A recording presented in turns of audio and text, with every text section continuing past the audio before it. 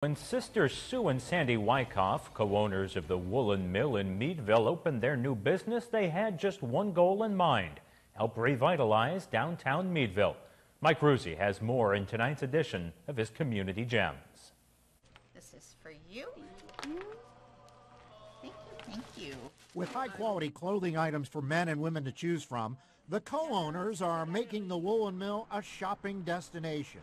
Our mom had a dress shop here in town, and so we thought it might be time to do that again. Uh, retail in Meadville had flagged for a lot of years, and um, we'd been looking for a building. This one was available, and it's beautiful, and we could see the vision of what it could be.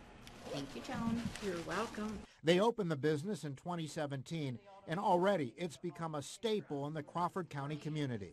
It's so nice for the Meadville community to be able to walk into stores and take your time and just be part of the community. It's when, you know, we live in a, a time where everything is just so easily accessible and you're browsing for this and that and things that you're specifically looking for. But coming in here, there are things that I would never have dreamt and I find them and it's, it's just like a surprise. It's always a surprise. Sue does such an amazing job curating her different clothes here. Like it's, it's just fun. It's fun to come in.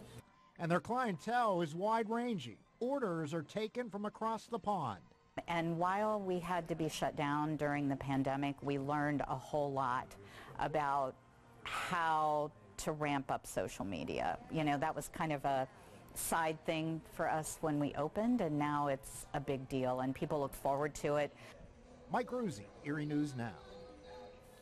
And the newly renovated store is at 257 Chestnut Street in Meadville. The building dates back to the late 1800s because it used to be a post office. Special story there in Good People in Meadville.